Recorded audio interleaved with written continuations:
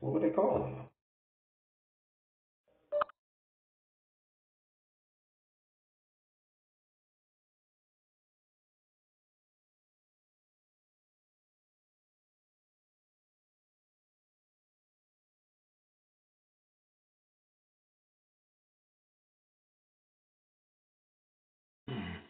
Zephaniah 3 9. For, for then will I turn to the people of pure language, that they may call, that they may all call upon the name of the Lord to serve him with one consent. So we're going to serve the Lord one consent in a pure language. The pure language is not the English language. It is the Paleo Hebrew, ancient Hebrew language is what uh, our Lord Savior was, the Hebrew, right? So he's going to turn, the Lord said he's going to turn his people back to a pure language, and they're going to call upon his name with one consent. And his name be Yahweh Bahashim Yahushua. Yahweh is who you call God. Yahushua is who you really call Jesus Christ in the Paleo Hebrew language, the pure language that the Lord is talking about right here.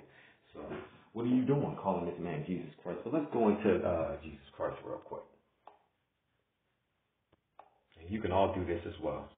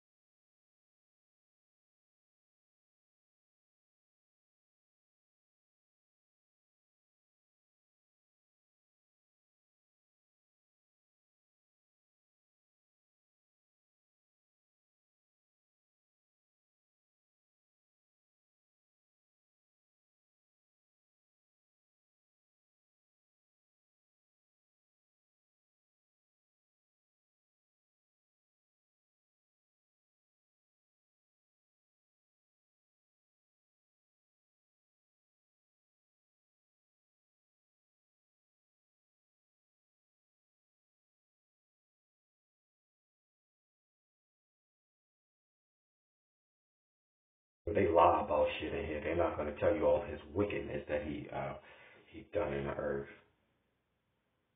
Okay, let's see. Look at this. Cesare Borgia pre- briefly employed Leonardo da Vinci as a military architect and engineer between 502 and 503. Cesare provided Leonardo with an unlimited pass to inspect and direct all ongoing and planned constructions in his domain while in whatever, built the canal from whatever, whatever.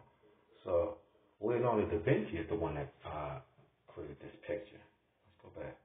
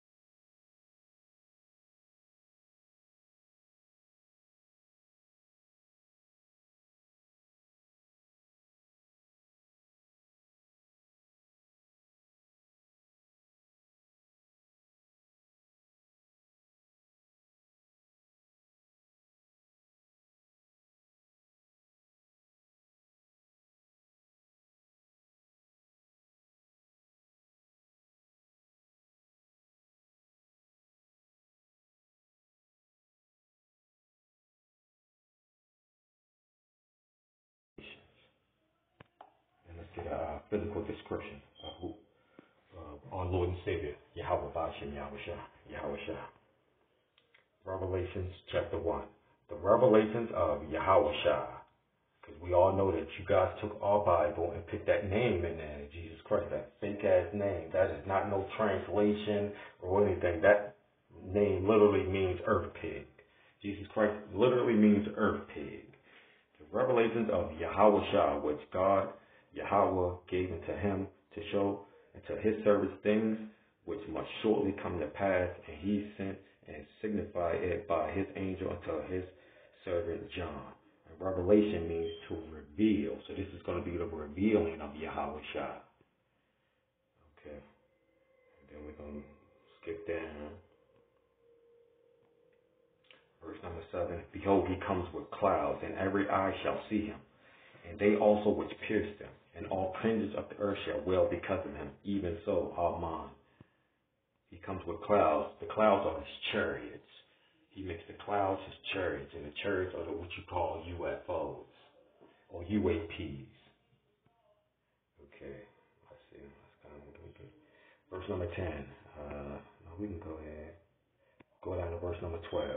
And I turned to see the voice that spake with me, turned, I saw seven golden candlesticks. And in the midst of the seven golden candlesticks was one like the Son of Man, clothed with a garment down to down to the foot and girded with a paps girded about the paps with a golden girdle. So he had on so uh, what he had on was he had a uh, he had a garment on that went all the way down to his legs.